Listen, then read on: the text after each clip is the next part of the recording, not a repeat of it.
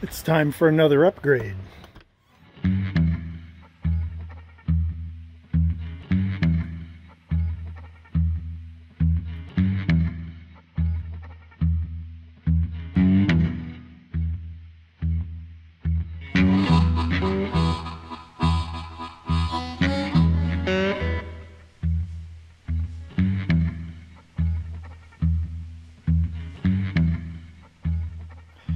We selected this Luma 350 by Kodak uh, because it's very compact. It runs off of uh, low voltage. It has its own internal battery that can be recharged and used untethered for about two hours.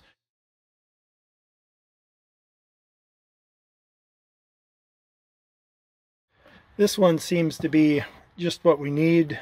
I think it's going to work just great for the bean um, typically, we don't kick back and look at pictures and videos until the late evening. So with the curtains and all, uh, lighting and the brightness of the device is not an issue. The broadcast size for the screen is relatively small, so I don't see a great need for uh, a super high resolution.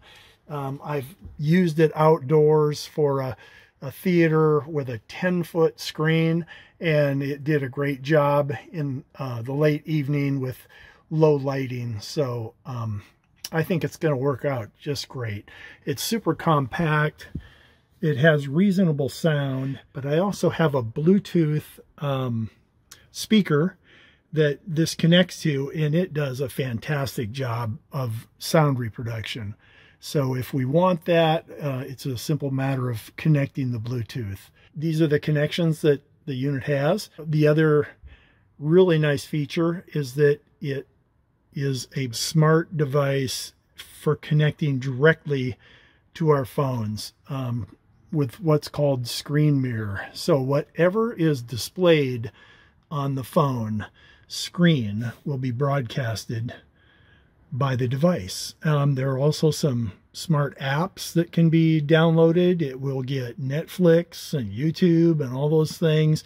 Uh, you have to have a network connection, wireless connection. You can tether it to the phone. I've done that and it works just fine. Um, but for the screen mirror and those types of functions, there is no cellular connection required. This is the setup in uh, daylight with the curtains drawn and the doors closed. It's just a matter of creating a screen for that space there. The screen is going to be 50 inches, so we want to cut the bottom tube, this half inch pipe, to 52 inches to give room for the end caps and projector screen to fit on that. We want the fabric to finish out to 29 by 50. This fabric does not fray, so I'm leaving no seam allowance for the sides.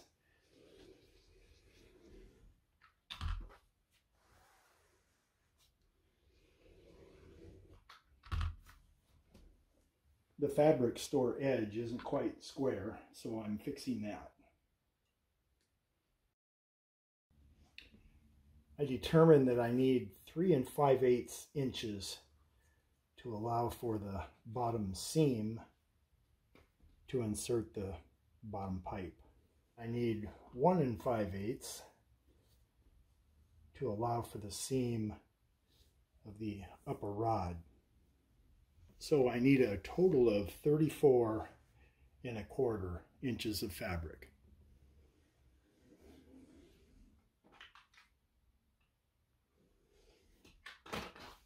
Now I can mark the top seam for 1 and 5 eighths. Now I can fold this edge to the line and iron it. And this allowance was 3 and 5 eighths. I have the iron set to silk for this particular fabric.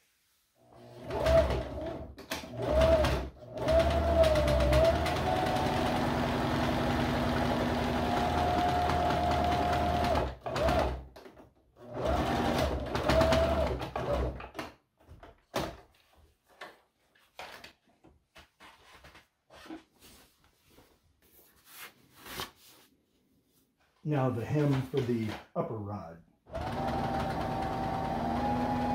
Okay, the top hem is done. Now I'm going to mark the center of that.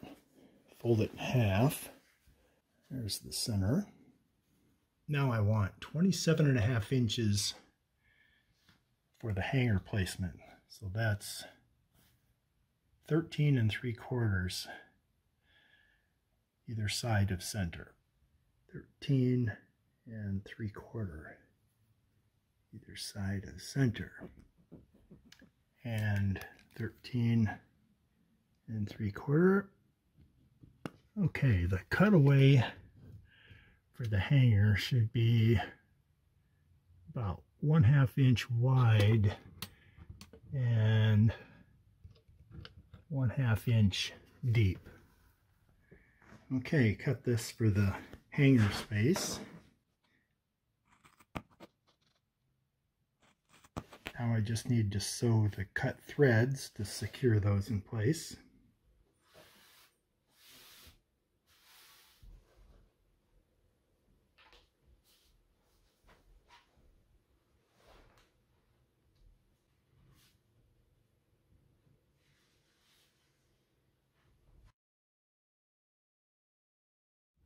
Looks like I need to cut this inch and a half PVC pipe to 53 inches to make a custom case.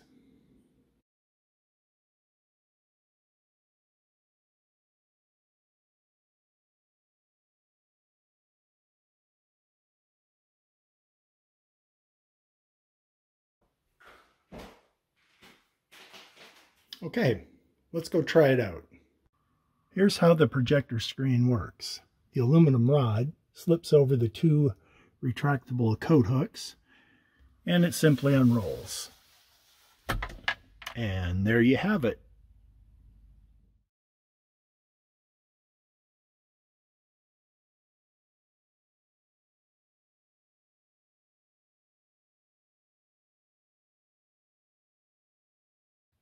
I found a great little mount for this projector.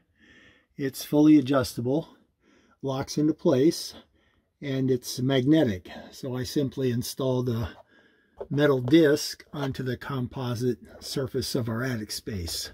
It's going to be hard to get off with one hand. Let me see here.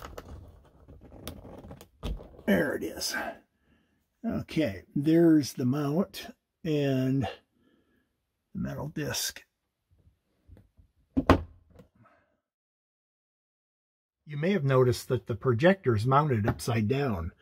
Um, one of the nice features of this particular projector is you can select the orientation in the menu so that you can mount it on the ceiling or of course um, set it on a tabletop. And it also corrects for uh, tilt angle. So no matter how the projector is angled, the image will remain a rectangle. This projector can be controlled three ways um, using this remote or a phone app or the touch buttons on the surface of the projector itself. And switch the remote to mouse mode and that makes it more convenient to search the web. This is a five foot screen viewed at a distance of about five feet. It's the resolution and the brightness. Just afternoon, and the curtains are drawn. But I think the uh, the brightness is pretty good. There's actually three levels of brightness that you can choose from in the settings menu. Our favorite use of this projector is to share videos and photographs that we took during the day while we kick back in the evening. Miracast or AirPlay for the iPhone will connect the phone directly to the projector wirelessly and display whatever's on the screen. You can zoom into photographs or pause videos and it will duplicate that on the screen.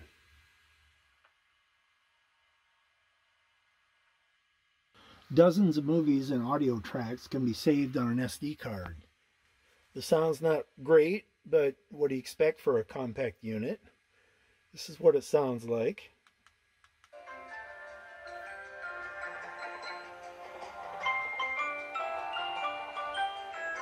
No worries, we have this great sounding compact Bluetooth speaker and it connects directly to the projector. And this is what it sounds like.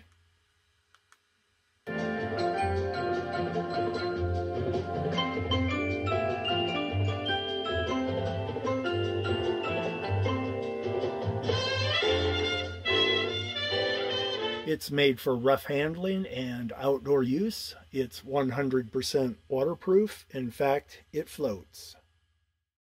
Here's a better example of the sound quality from this small speaker using a MP3 file.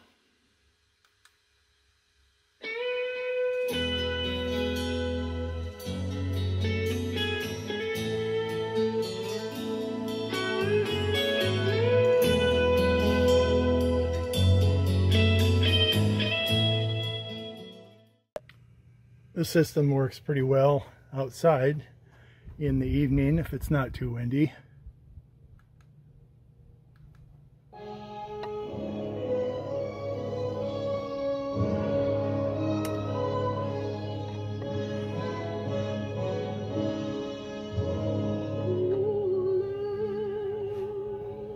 I just have it setting on the fender using this compact folding tripod.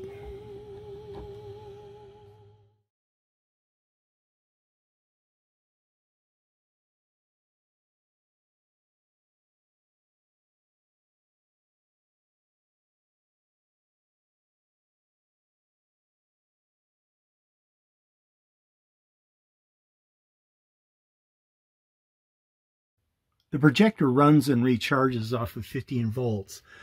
So I installed a converter and a common vehicle power port and a switch which turns on the converters and runs the projector. We have the output voltage set to 13.5. It's going into a 12 volt regulated output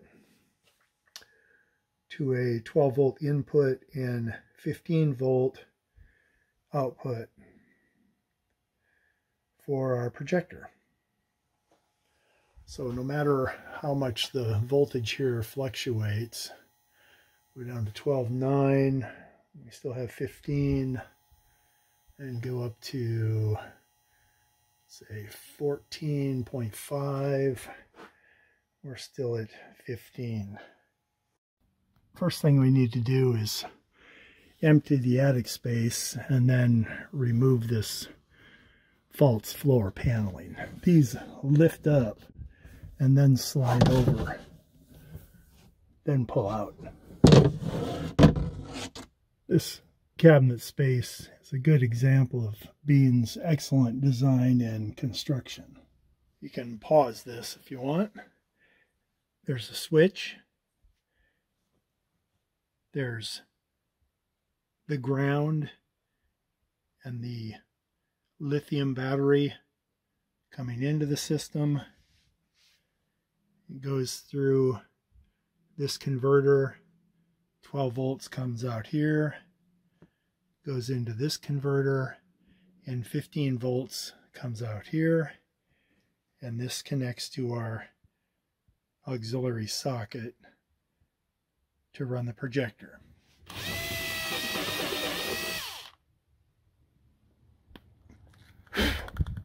Okay, there's plenty of room in the attic space for the wiring.